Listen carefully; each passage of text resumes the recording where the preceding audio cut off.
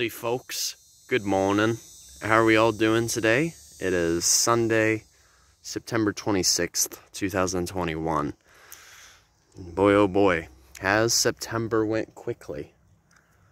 So as part of the video, I want to focus on talking about the subject of marshes. Now,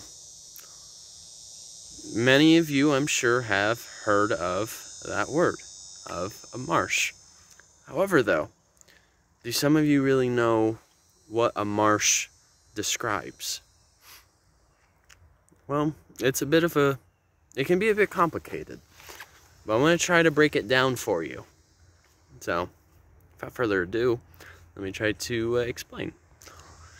So basically, like what we're looking at is a marsh right in front of me.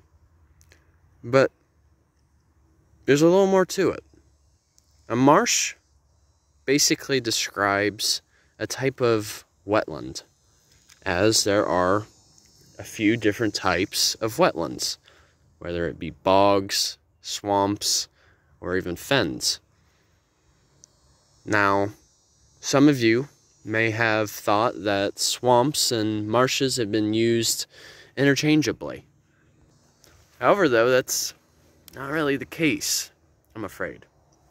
They're actually two separate things. A swamp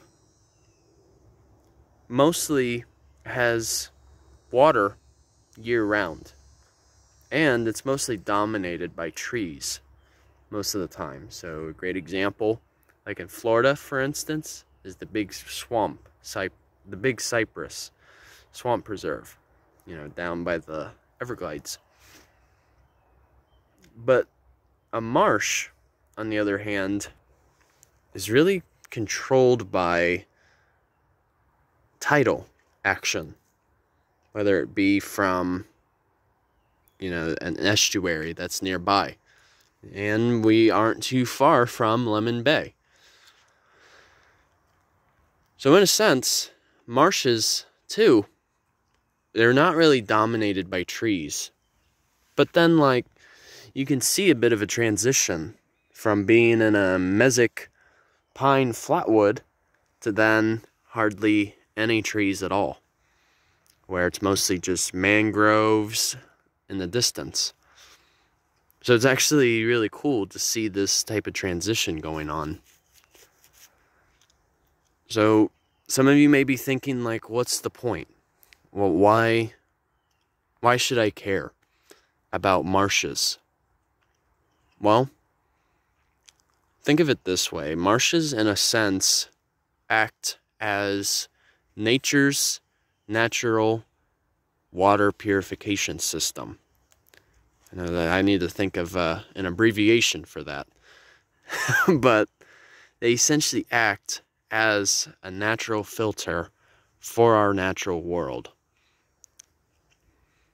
So, with that being said, oftentimes in a marsh, the soil is extremely rich in nutrients, especially nitrogen. That's one of the most essential elements that allows for plant growth and increases the fertility of the soil. Now, with that being said, how does it really get so organic? Well, as I mentioned, what we're basically looking at is something called a tidal marsh. So you figure there can be water fluctuations time and time again. It's like right now, the water levels might be a little moderate at the moment. But they have been known to be much higher, depending on how much rain there is. But one of the reasons how marshes can be so rich in nitrogen is through our plants. So think of it this way.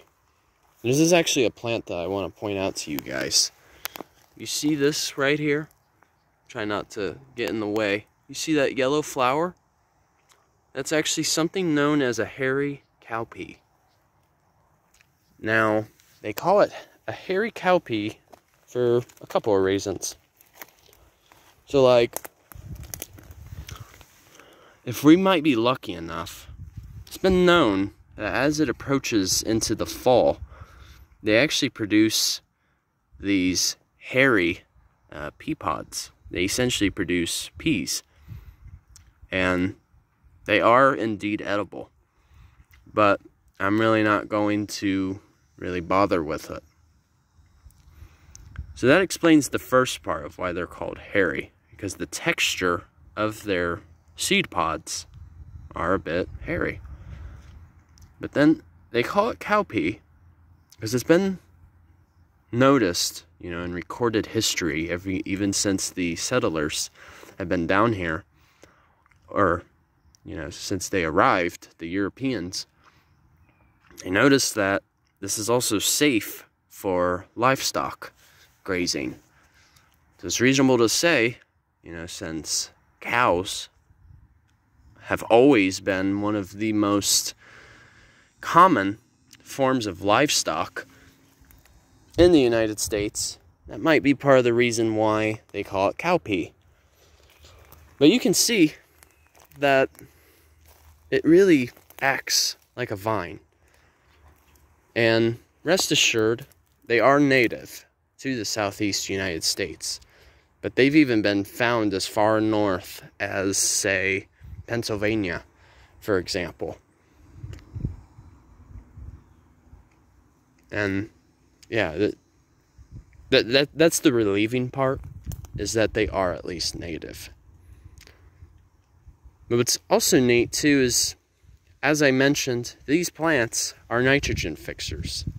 They like to obtain nitrogen from the atmosphere and use it for their growth to produce more food and attract any other pollinators.